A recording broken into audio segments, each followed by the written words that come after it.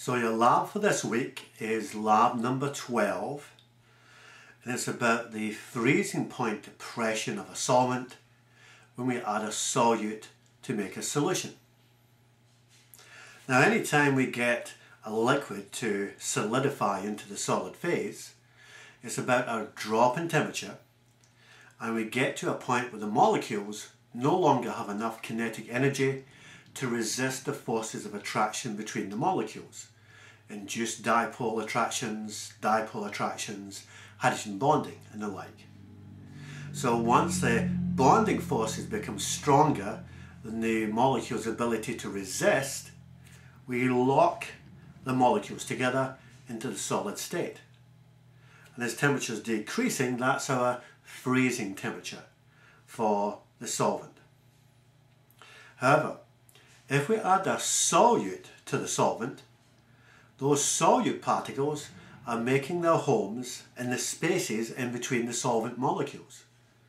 So they act as a barrier preventing the molecules from getting close enough and the bonding forces getting strong enough to lock the molecules in. So temperature has to drop further, the molecules have to lose more kinetic energy before they're moving slowly enough for the forces of attraction to take hold and lock the molecules into the solid state at a new depressed freezing temperature. We add a solute and the freezing temperature can only go down with the addition of a solute. Now because we only have a very small amount of the solute compared to the solvent, the chemical nature of the solute doesn't matter to the effect of the freezing temperature depression. The only thing that matters is the sheer number of particles which are being added to the solvent. The greater the number of particles of solute being added, the greater the effect on the freezing temperature depression. So today we're using tertiary butyl alcohol. But tertiary butyl alcohol normally freezes at about 25 degrees Celsius, which is above room temperature. So we'll have to melt the tertiary butyl alcohol, or TBA as it's sometimes known. We have to melt it by putting it into a beaker of hot water. Water at about maybe 50 to 60 degrees. Let it melt and get it up to temperature. Then you should take 10 grams of that solvent, weight on the beaker, in a test tube, which has been put into a beaker. Take your 10 grams of the solvent, and then you're going to put it into a clamp and submerge the test tube and the TBA below the level of ice water. And you'll start the program, get your lab partner to start the program as you dip the test tube into the ice water and watch as the temperature drops as the tertiary butyl alcohol starts to cool. Now at some point you're going to see the graph change direction rapidly and become an almost horizontal line. That's when the tertiary butyl alcohol is entered into the freezing stage. And the temperature shouldn't drop unless every last molecule has frozen into solid tertiary butyl alcohol. Trouble is, we're cooling so rapidly that sometimes all that energy isn't evenly distributed amongst the solution of tertiary butyl alcohol. So you're going to have to vigorously stir the solution either with the thermometer which is inside the test tube or perhaps unclamp the test tube and with the thermometer inside swirl and shake the whole test tube around in the beaker of ice cold water. And if you stir and shake the test tube sufficiently it should give you a very flat line or a very close to a flat line on the graph. Eventually after 10 minutes the experiment will stop and then you can use the cursor on the monitor screen and highlight the portion of the screen which contains the bulk of your graph with your cooling and freezing slope. Highlight with the cursor that region of the graph that contains your slope and it should show up as a slightly more grey area on your picture. Then hit the zoom in button and the graph should centre on that shaded area you chose. Now choose the linear curve fit once you've highlighted the cooling phase of the graph and that will give you the best straight line for this data. And then take a linear fit for the freezing phase of the graph. And again that will give you the best straight line. And where those two lines intersect on the graph between the cooling and freezing that's going to be your best estimate of the true freezing temperature of the tertiary butyl alcohol. Record that piece of data in your lab book and then get the experiment ready for a second run after having added the solute to depress the freezing temperature.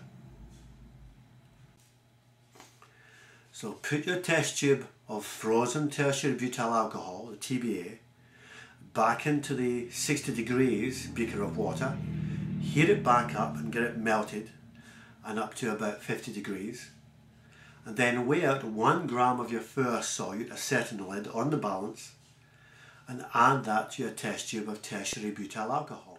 If anything gets stuck in the sides of the test tube, then scrape it down into the bottom with the aid of a spatula. If you want, go to the front desk and use the vortexer to rapidly mix the solution and dissolve the acetanilide powder in thoroughly.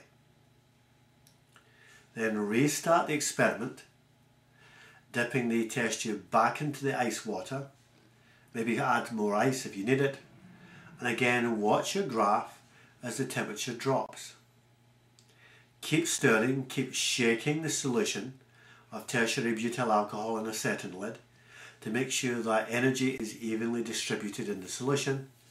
So when it does start to freeze, you get a nice flat line curve, or as close to a flat line curve as possible. After do the zoom in and the linear curve fit again and where the two lines intersect that's going to be your new freezing temperature which should be a depressed freezing temperature from the original graph. So you can measure the difference in the freezing temperature without the solute and the new depressed freezing temperature with the solute. And you're going to use that data to work out the freezing constant a tertiary butyl alcohol. So the change to the freezing temperature is equal to the freezing constant specific to that solvent multiplied by its molality, which is the number of moles of solute in one kilogram of the solvent. Now, you're only going to have a very small amount of the solvent. You should only have had 10 grams. But with your mass of solute, that one gram of solute, you can divide it by the mass of one mole, work that out from the chemical formula, to work out how many moles you have. You can take that gram mass for the solvent, that 10 gram mass, divide it by a thousand to turn it into a mass in kilograms. And to work out the molality, take the number of moles you have divided by the number of kilograms of solvent you had. Now you can use your calculation, your equation for the freezing point depression, which is the drop in freezing temperature being equal to the freezing constant for that solvent multiplied by the molality. You can rearrange that to make the freezing constant the subject of the equation. So the freezing constant is equal to the drop in the freezing temperature divided by the molality of your solution. So now you can compare the freezing constants you've calculated for the two sets of experiments. You have a freezing point constant when we were using the acetanilide as the solute and a freezing point constant for the tertiary butyl alcohol when we were using ethanol as the solute. Compare these two values. If your hypothesis is proved true and the chemical nature of acetanilide or ethanol truly doesn't make any difference to the freezing point depression. You can show that it's all about the sheer number of molecules and therefore with a molar quantity it should give the same level of freezing point depression. So that freezing point constant that you work out for the two halves of the experiment should be a match if your hypothesis is proven.